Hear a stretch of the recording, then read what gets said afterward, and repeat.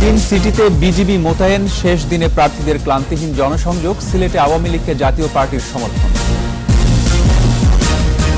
দশ সেপ্টেম্বর চালু হবে বড়পুকুরিয়া বিদ্যুৎ কেন্দ্র। প্রয়োজনে কয়লা আমদানি জানালেন জ্বালানি সচিব।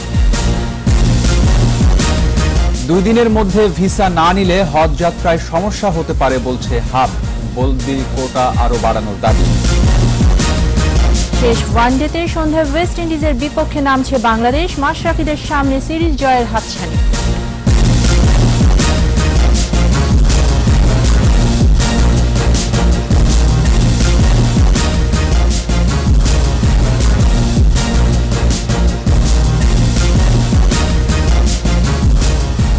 শুনছিলেন First Security Islami Bank Limited সংবাদ শিরোনাম।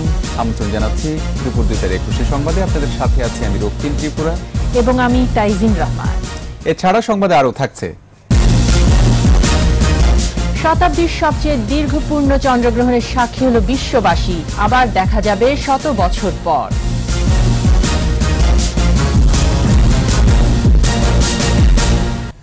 শুরুতে সিটি নির্বাচন প্রসঙ্গ।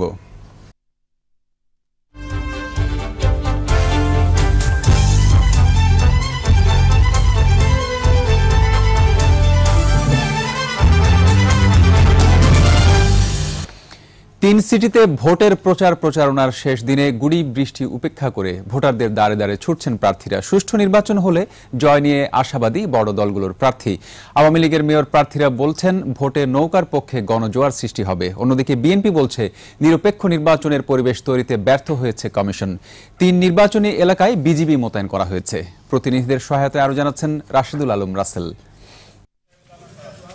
বরিশাল রাজশাহী ও সিলেট সিটি কর্পোরেশন নির্বাচনে প্রার্থীদের প্রচার গণসংযোগ শেষ হচ্ছে মধ্যরাতে। ভোটারদের দৃষ্টি আকর্ষণে সর্বাত্মক চেষ্টা চালাচ্ছেন মেয়র ও কাউন্সিলর পদ প্রার্থীরা সিলেটে আওয়ামী লীগকে আনুষ্ঠানিকভাবে সমর্থন দিয়েছে জাতীয় পার্টি।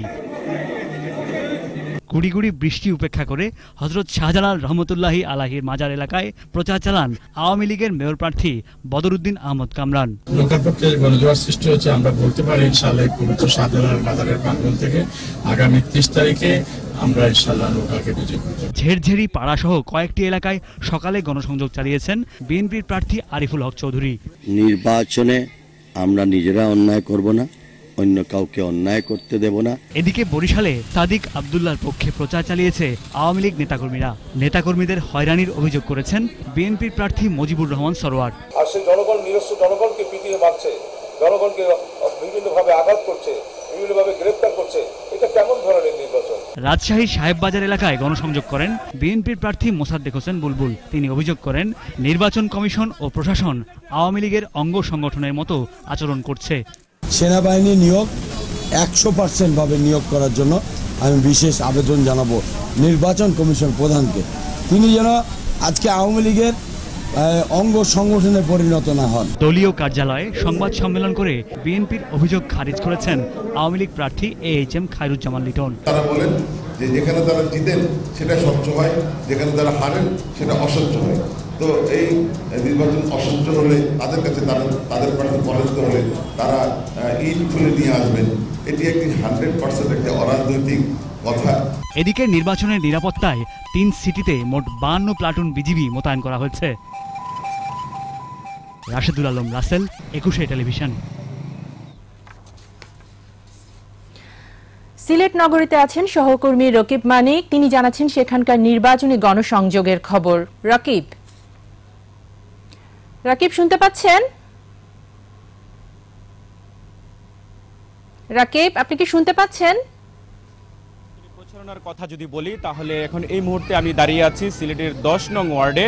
সেই দশ নং ওয়ার্ডে এখন নৌকা প্রতীকের মেয়র প্রার্থী বদরুদ্দিন আহমেদ কামরান, তিনি প্রচার প্রচারণা চালাচ্ছেন।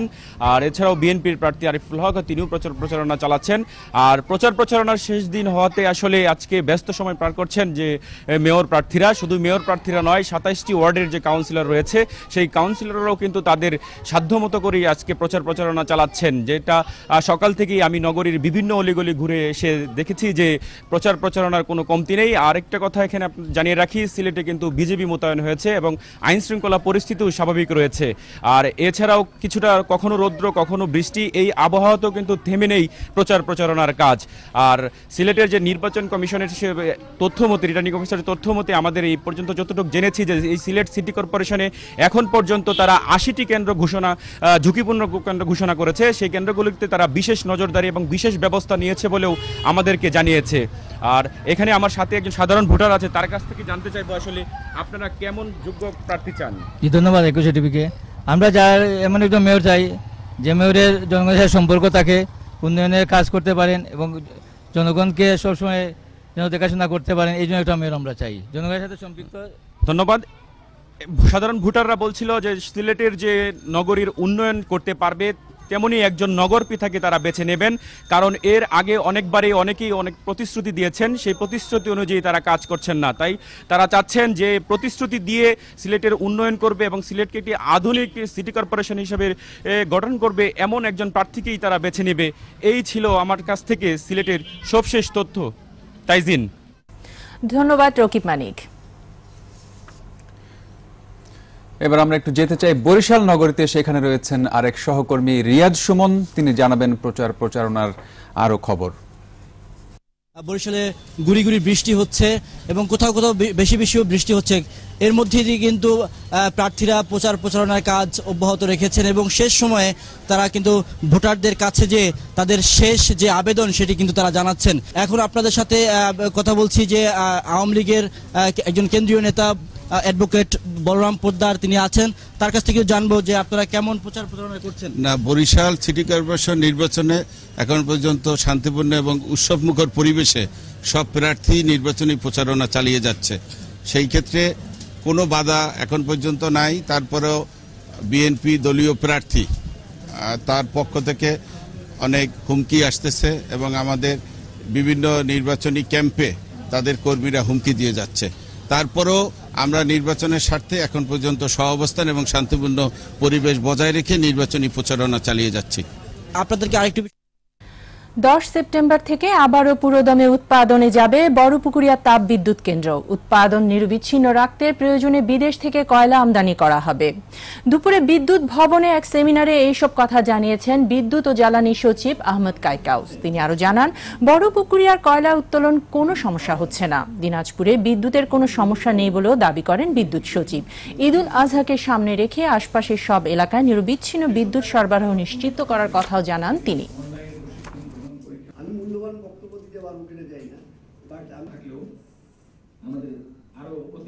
অলরেডি বাড়তি যে আশি মিলিয়ন যেটা পাওয়ার কথা সেটা আমরা পেয়েছি। এখন আমাদের সেখান থেকে কিন্তু বিদ্যুৎ চলছে। কমিটি করেছি, তারাও দেখছে পিডিবি দেখছে দুজনে মিলে দেখছে। ওরা যদি আমরা দেখা যায় যদি মনে করেন আমার স্পেসিফিকেশন কালকে মিলে, তাহলে হয়তো আমরা কাজ শুরু করব।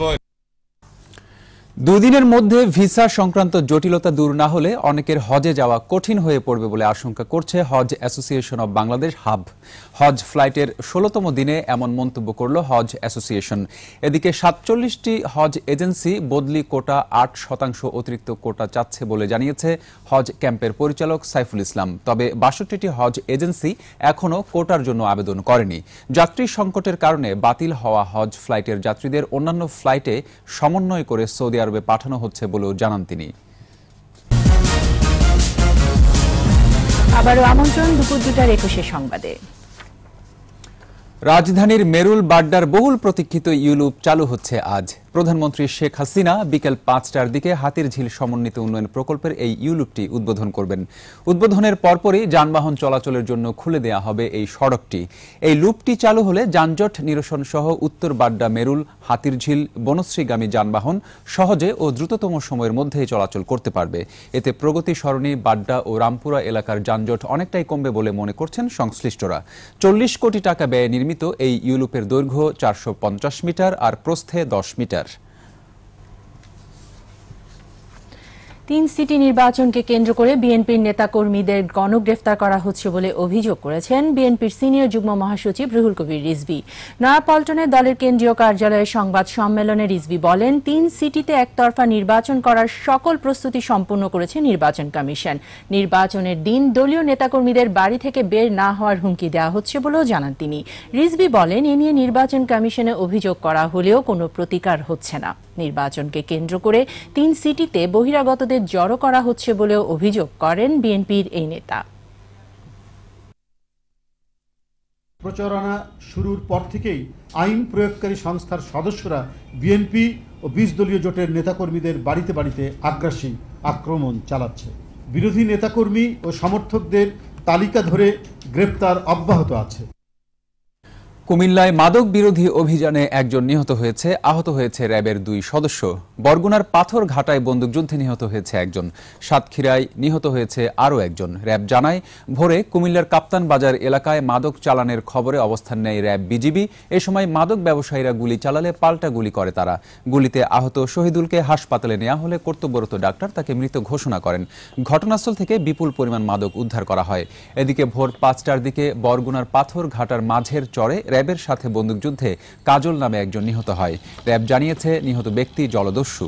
সাতক্ষীরার শ্যামনগরে পুলিশের সাথে বন্দুকযুদ্ধে রেজাউল নামে একজন নিহত হয়েছে।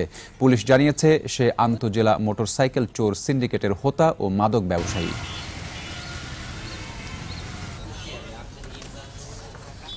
এবার আমাদের সাপ্তাহিক আয়োজন, সোশ্যাল ইসলামী ব্যাংক লিমিটেড, একুশের চোখ।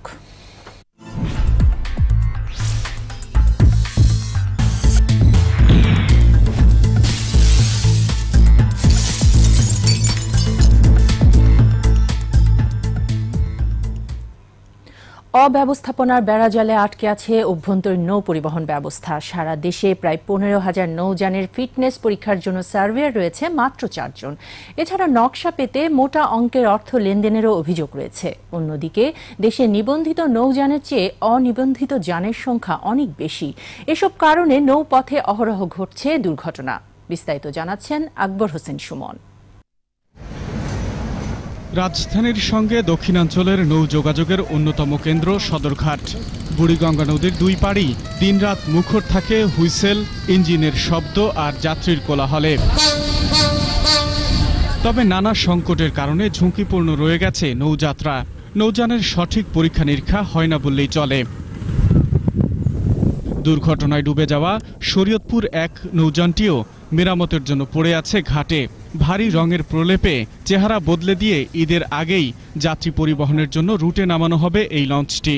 তবে এর নেই ফিটনেস সনদপত্র না হয়েছে নৌ পরিবহন অধিদপ্তরের সার্ভে। এই লঞ্চের কোনো সমস্যাই না। প্লেট পুরনো হয়ে গেছে ওটা ফালাই দেন নতুন লাগাম। যদিও বিআইডব্লিউটি এর দাবি নৌ পরিবহন অধিদপ্তরের সনদপত্র ছাড়া কোনো যান চলে না। কোনো অনুমোদিত লঞ্চ বা আনএপ্রুভ লঞ্চ ফিটনেস নাই এরকম লঞ্চ চলার কোনো সুযোগ নেই। একটি নৌযান চলাচলের ক্ষেত্রে দৈর্ঘ্য প্রস্থ দিক নির্দেশক যন্ত্র পানির উচ্চতা মাপাসহ আনুষঙ্গিক যন্ত্রের মান এবং ইঞ্জিন পরীক্ষা করতে হয়। তবে এজন্য সারা দেশে সার্ভেয়ার রয়েছেন মাত্র চারজন। আমাদের যে আইএসও ইনল্যান্ড শিপিং অর্ডিন্যান্স যে আমাদের ফর্ম আছে তাতে আমাদের তেতাল্লিশটা আইটেম আছে। সুপারিশ করে দেওয়া মানে যে আমার সার্ভিস ফিটনেস সার্টিফিকেট পাবেন এটার কোনো নিশ্চয়তা নাই। জনবল কাঠামোর আমূল পরিবর্তন ছাড়া শতভাগ নৌযান সার্ভে করা সম্ভব নয় বলে মনে করেন প্রকৌশল বিশ্ববিদ্যালয়ের নৌযান ও নৌযন্ত্র কৌশল বিভাগের প্রধান। নৌযানগুলো যে সার্ভে সনদ তাদেরকে দেয়া হচ্ছে এগুলো আসলে ঠিকমতো পরীক্ষা করে দেয়া হচ্ছে না। তবে সরকার বলছে নৌযানের মান নিয়ন্ত্রণে উদ্যোগ নেওয়া হচ্ছে। শিমুলিয়া কাঁঠালবাড়ি এই রুটে যে সকল চলাচল করছে রুট সেইগুলোই কিন্তু আমাদের নিয়ন্ত্রণ করা কষ্টসাধ্য ব্যাপার হয়ে পড়েছে। যাত্রী সেবা নিশ্চিত করতে নৌযানের ফিটনেস পরীক্ষা যেমন জরুরি তেমনি প্রয়োজন অনিবন্ধিত নৌযানের চলাচল বন্ধ করা। আকবর হোসেন সুমন একুশে টেলিভিশন ঢাকা। এ নিয়ে বিস্তারিত থাকছে রাত দশটার একুশে চোখ অনুষ্ঠানে দেখার আমন্ত্রণ রইল। এ পর্যায়ে আরেকটি ইসলামী ব্যাংক বিরতি যখন ফিরছি তখন অন্যান্য খবরের সঙ্গে আরও থাকছে। পাকিস্তানের নতুন সরকারের সাথে কাজ করবে যুক্তরাষ্ট্র নির্বাচনের সহিংসতার নিন্দা। হাঁটুতে ইঞ্জুরি সিরিজ নির্ধারণী ম্যাচ থেকে ছিটকে গেলেন আন্দ্রে রাসেল।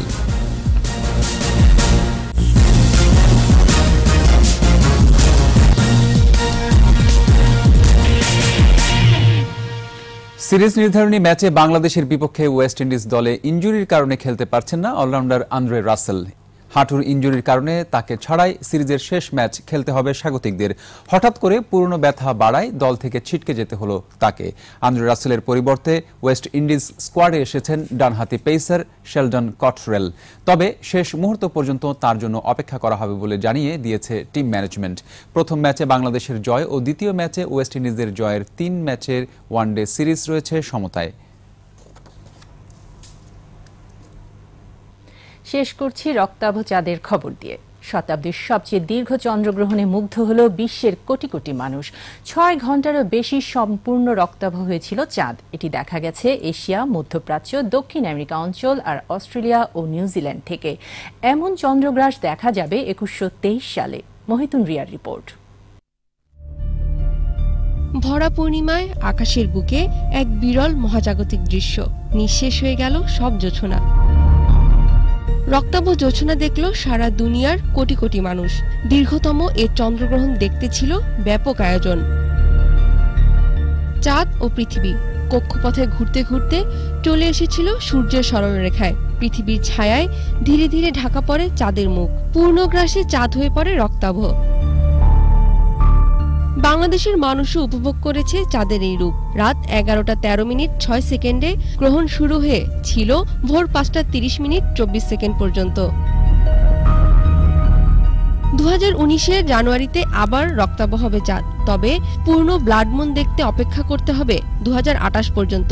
কিন্তু সেটি এত দীর্ঘস্থায়ী হবে না। এবারের মতো দীর্ঘ সময় ব্লাড মুন দেখা যাবে আরও একশো বছর পর। মহিতুন রিয়া, একুশে টেলিভিশন। আর এরই সাথে শেষ করছি দুপুর দুটার একুশে সংবাদ। যাবার আগে First Security Islami Bank Limited সংবাদ শিরোনামগুলো জানিয়ে দিচ্ছি আরও একবার। তিন সিটিতে বিজিবি মোতায়েন শেষ দিনে প্রার্থীদের ক্লান্তিহীন জনসংযোগ সিলেটে আওয়ামী লীগকে জাতীয় পার্টির সমর্থন। দশ সেপ্টেম্বর চালু হবে বড়পুকুরিয়া বিদ্যুৎ কেন্দ্র। প্রয়োজনে কয়লা আমদানি জানালেন জ্বালানি সচিব। দুই দিনের মধ্যে ভিসা না নিলে হজ যাত্রায় সমস্যা হতে পারে বলছে হাব। বদলি কোটা আরও বাড়ানোর দাবি। শেষ ওয়ানডেতে সন্ধ্যায় ওয়েস্ট ইন্ডিজের বিপক্ষে নামছে বাংলাদেশ। মাশরাফিদের সামনে সিরিজ জয়ের হাতছানি।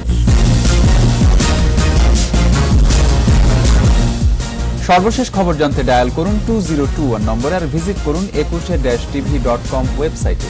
এছাড়া ফেসবুকে ভিজিট করতে পারেন Facebook dot com slash Ekushey twenty four অনলাইনে এতক্ষণ সঙ্গে থাকার জন্য ধন্যবাদ। ছয়টায় আমাদের চট্টগ্রাম সংবাদ। দেখার আমন্ত্রণ রইল একুশের সাথে থাকুন। ধন্যবাদ।